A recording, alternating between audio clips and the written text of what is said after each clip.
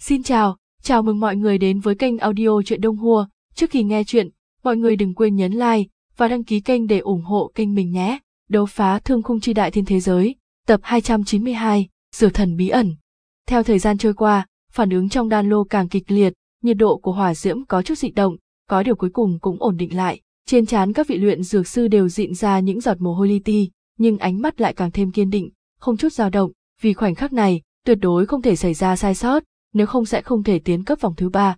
Trong cuộc thi căng thẳng và kịch liệt này, tâm tư mỗi luyện dược sư đều tập trung vào đan dược trong đan lô của mình. Thời gian trôi qua từng giây từng phút, hỏa diễm trong đan lô dần trở nên ổn định và có trật tự, đan hương tỏa ra bốn phía. Các luyện dược sư như có thể nghe thấy âm thanh nứt vỡ, dung hợp của dược liệu trong lô, như là cuộc giao tiếp giữa họ và dược liệu, là minh chứng cho kết hợp hoàn hảo giữa tâm hồn bọn họ và hỏa diễm. Bọn họ hết sức chăm chú, không dám bỏ qua bất kỳ chi tiết nào, vì một sai lầm nhỏ cũng có thể khiến cho mọi nỗ lực trước đó đổ sông đổ bể.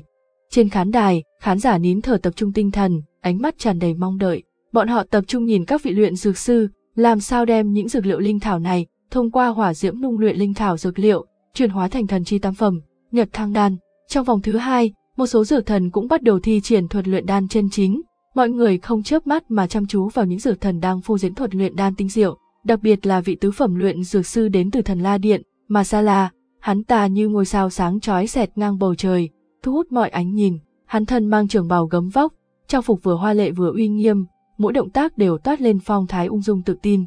Chỉ thấy hắn ta khẽ vung tay áo, từng luồng thâm lục sắc hỏa diễm bỗng nhiên bốc lên, uốn lượn như linh xà giữa các đan lô, hỏa diễm này không giống bình thường, nó ẩn chứa linh khí thiên địa nồng đậm, có thể thôi hóa tinh hoa trong linh thảo dược liệu, khiến chúng dung hợp ngưng đan nhanh hơn. Theo động tác biến hóa của Masala, hỏa diễm khi thì mãnh liệt, khi thì ôn hòa, như có sinh mệnh lực cùng ý chí cường đại của riêng nó. Không khí xung quanh bị nhiệt độ cao làm cho vạn vẹo, nhưng hắn ta như không hề nhận ra, đôi mắt vẫn điềm tĩnh tập trung, như thể có thể nhìn thấu tầng tầng lớp lớp sương mù, nắm bắt từng chút biến hóa của dược lực. Mỗi động tác của hắn ta đều vừa đúng, tinh chuẩn, ngay cả một chút dược liệu dư thừa cũng không lãng phí.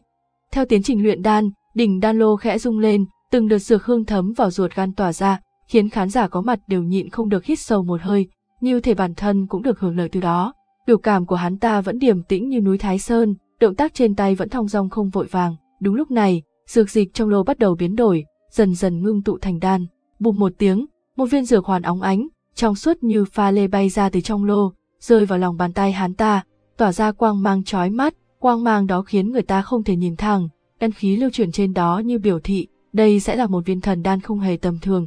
Mặt Gia La khẽ mỉm cười, trong mắt lóe lên vẻ hài lòng, hắn ta biết, đan dược này đã được luyện chế thành công trong tay hắn, hơn nữa, còn vô cùng dễ dàng, xem ra vị tứ phẩm dược thần đến từ thần la điện này, thuật luyện đan của hắn ta đã đạt đến mức độ vô cùng khủng bố, đủ để hắn tiến thêm một bước trên dược thần chi lộ, bước vào cảnh giới ngũ phẩm dược thần.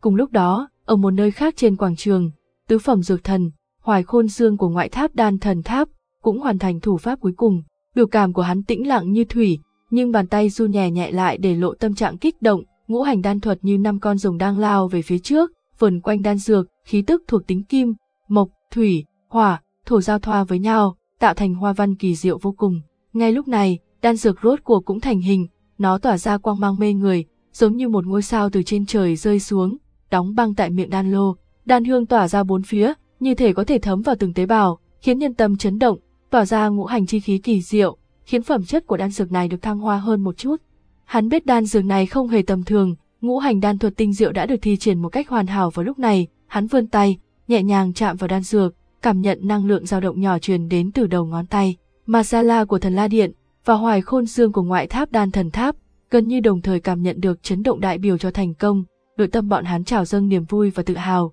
Đây là thời khắc vinh quang nhất của một luyện dược sư. Đặc biệt là trên mặt hoài khôn dương lộ ra nụ cười thỏa mãn, hắn biết, đây không chỉ là một đan dược mà còn là kết tinh cho lý giải về ngũ hành đan thuật của bản thân, là một lần thăng hoa tu vi.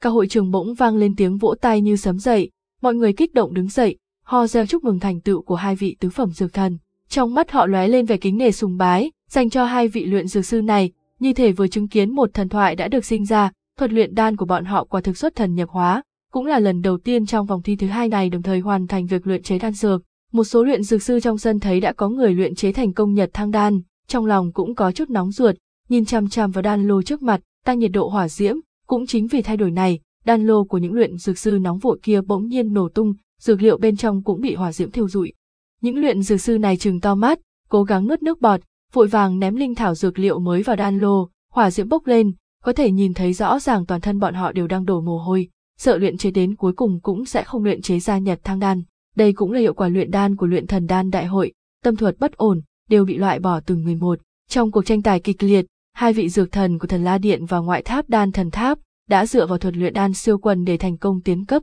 Tuy nhiên, đây mới chỉ bắt đầu tranh đấu. Ba vị tứ phẩm dược thần của Thiên La Điện, Thánh Hoa Điện, Âm Dương Điện cũng không chịu kém cạnh, bọn họ đứng ở bên luyện dược đài rộng lớn, thần sắc bình tĩnh nhưng kiên định, thi triển thần thông, lần lượt thể hiện thuật luyện đan tinh diệu nhất của mình. Chỉ thấy thủ pháp bọn họ nhanh như trước, linh thảo dược liệu trong tay bọn họ như có sinh mệnh, nhảy nhót, lăn lộn, dung hợp, mỗi động tác đều tràn đầy lực lượng nhịp nhàng. Lô hỏa thiêu đốt, hỏa diễm hừng hực, soi đỏ bừng khuôn mặt ba vị dược thần, ánh mắt bọn họ tập trung nhìn chăm chăm vào lô hỏa, như thể có thể xuyên qua hỏa diễm rực rỡ để nhìn thấy quá trình thành hình của đan dược. Khán giả nín thở nhìn, chỉ thấy từng đoàn dược khí bốc lên trên luyện dược đài, giao thoa với nhiệt khí bốc lên xung quanh, như một bức họa sống động. Thời gian trôi qua, ba viên nhật thăng đan tinh thuần vô cùng rốt của cũng xuất lô, chúng trong suốt long lanh, đan hương nồng nặc, khiến tất cả mọi người có mặt đều rung động. Mọi người đang nghe chuyện tại kênh YouTube, audio chuyện Đông Hua, ba vị dược thần mỉm cười, giơ cao nhật thăng đan, nhận những lời tán thưởng và tiếng vỗ tay từ bốn phía khán giả,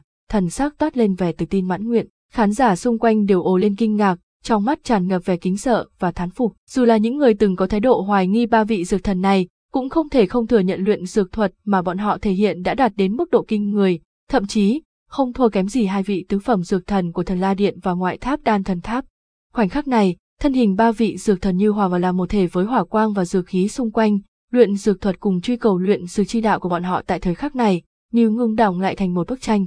Còn ba viên nhật thăng đan tinh thuần là minh chứng rõ ràng nhất cho luyện dược thuật của bọn họ, là điểm sáng chói lọi trong cuộc thi luyện đan này, mà năm vị tứ phẩm dược thần còn lại đến từ những thế lực ẩn thế kia, ánh mắt sâu thăm thẳm kiên định, dược chùy trong tay vung lên tạo thành từng mảng tàn ảnh mờ ảo. Thủ pháp của mấy vị dược thần này như nước chảy mây trôi, liên mạch mà đẹp mắt, tâm trạng bình thản mà tập trung, dường như vẻ huyên náo giữa thiên địa này đều không liên quan gì đến bọn họ. Chỉ thấy bọn họ nhắm chặt hai mắt, dường như đang dùng đầu ngón tay cảm nhận linh hồn của linh thảo dược liệu, nắm bắt từng tia dược lực chuyển động, khán giả nín thở, sợ tiếng thở của mình sẽ quấy dày đến suy tư của mấy vị dược thần này, mà thập đại thần trưởng lão trên khán đài ánh mắt sâu xa, bọn họ trao đổi ánh mắt với nhau, như đang âm thầm đánh giá luyện dược thuật của mỗi vị dược thần. Đột nhiên, một tiếng vang thanh thúy phá vỡ vẻ yên tĩnh, chỉ thấy một vị dược thần thu hồi dược lô, chậm rãi mở nắp, lập tức, từng tia sáng rực rỡ từ trong dược lô bắn ra, chiếu rọi cả sân. Dược lực ẩn chứa trong số tia sáng ấy khiến cho mọi người có mặt đều cảm thấy tinh thần chấn động. Trên mặt các vị dược thần cũng không có vẻ kinh ngạc, vì tất cả những điều này đều nằm trong dự liệu của bọn họ. Bọn họ đều đang chờ đợi trận chung kết thực sự, vì trong lòng bọn họ, chỉ có 5 vị tứ phẩm dược thần của bốn đại thế lực siêu thần đỉnh phong và ngoại tháp đan thần tháp mới là đối thủ duy nhất của bọn họ, những người còn lại đều không lọt vào tầm mắt. Mà thập đại thần trưởng lão thì đều lộ vẻ vui mừng, nhìn các vị tứ phẩm dược thần với ánh mắt tán thưởng, từng đợt dược hương nồng nặc lan tỏa, khiến những người xem trên khán đài đều nhịn không được hít sâu một hơi. Ẩn chứa trong hương khí này là luyện dược thuật cao siêu kỳ diệu, khiến cho Nhật Thăng Đan nâng cao phẩm chất tinh thuần. Khán giả vỗ tay nhiệt liệt, hoan hô luyện dược thuật tinh xảo của các vị tứ phẩm dược thần. Trên mặt thập đại thần trưởng lão cũng lộ ra nụ cười hài lòng, biểu thị công nhận đối với biểu hiện của năm vị dược thần này. Dù có đường tấn cấp đầy gian nan thử thách, nhưng những vị dược thần này đã chứng minh cho tất cả mọi người thấy được luyện dược thuật cao siêu của mình. Đúng lúc mọi người đang hò reo nhiệt liệt cho những vị tứ phẩm dược thần kia, thì ở một góc khuất không ai chú ý tới, một đạo hắc hỏa lặng lẽ bốc lên, nó giống như con mắt sâu thẳm nhất trong màn đêm, thôn vệ quang minh, toát ra vẻ âm u lạnh lẽo.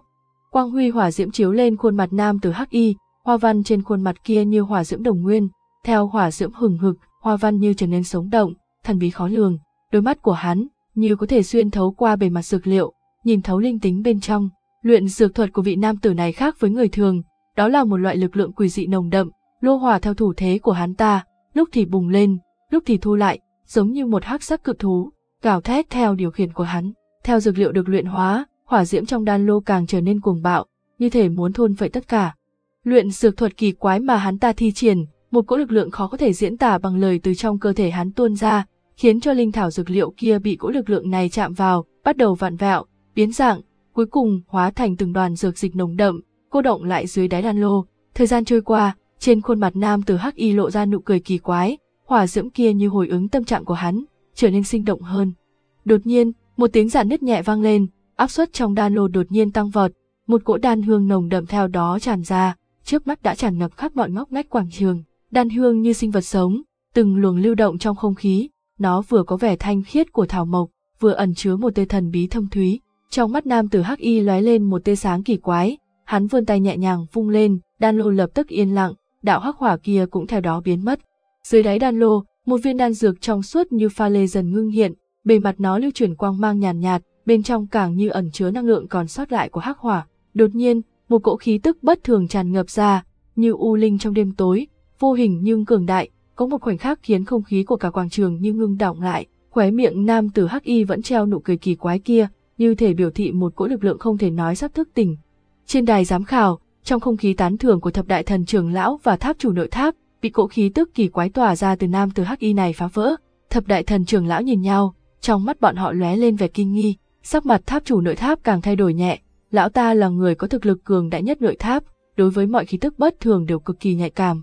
Lúc này, lão cao mày, ánh mắt như đuốc, nhìn chăm chăm vào nam tử hắc y, cố gắng giải nguồn gốc của cỗ khí tức kia, nhưng càng thăm dò, vẻ nghi hoặc bất an trong lòng càng nặng nề, cỗ khí tức này cực kỳ nguy hiểm. Nam tử hắc y kia, như không phát giác tất cả những điều này, hắn không biểu lộ gì, ánh mắt điềm tĩnh, như thể mọi thứ xung quanh đều không liên quan gì đến hắn. Nhưng chính sự điềm tĩnh này khiến cho bầu không khí trong sân càng thêm kỳ quái. Thập đại thần trưởng lão đều thi triển thần lực, cố gắng phân biệt nguồn gốc thực sự của cỗ khí tức kia, nhưng đều phản hồi vẻ hoang mang và khó hiểu. Tại sao người này lại có cỗ khí tức khiến người ta cảm thấy nguy hiểm như vậy?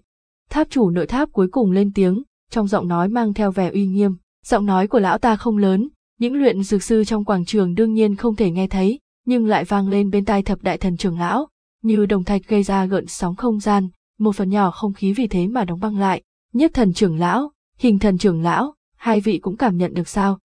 Ngồi bên trái tháp chủ nội tháp là một lão giả tóc bạc phơ, thân mang trường bào trắng xám, trên trường bào thêu đạo văn phức tạp, chính là nhiếp thần trưởng lão đứng đầu thiên địa hệ phái. Bên phải là một người khoác trường bào dài màu xám, trên trường bào thêu hoa văn hào nguyên tố, bá đạo vô cùng, toát lên một cỗ khí thế không giận tự uy, trong mắt lão ta lóe lên một đạo hỏa diễm kiên cường, hừng hực trong vẻ tăng thương của năm tháng. Dù năm tháng đã khắc lên khuôn mặt lão ta những nếp nhăn, nhưng những dấu vết này cũng không che giấu được khí chất tinh anh tràn trề sức sống của lão ta, mà lão ta chính là hình thần trưởng lão, đứng đầu ngũ hành hệ phái,